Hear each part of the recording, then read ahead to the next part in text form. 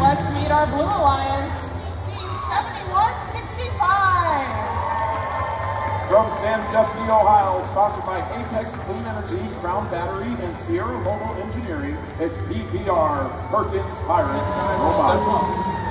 Take control of these finely tuned machines.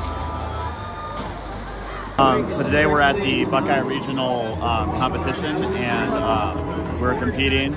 Um, this is our bot, the Kraken. We're doing really good right now. We're second ranked. We got six ranking points in our previous match. The game is it's called Reefscape, um, but basically you have these. They're like PVC pipes, but they're called corals, and you put them on different shelves, and then the higher shelves are worth more points. So what we do is we went through and we grab the the PVC pipes.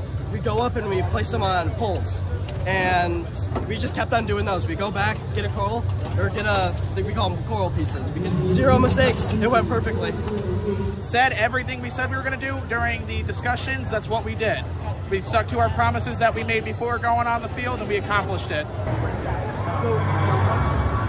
I have to line up where we shoot and stuff, and I have to go collect coral and try not to get it out of the robot.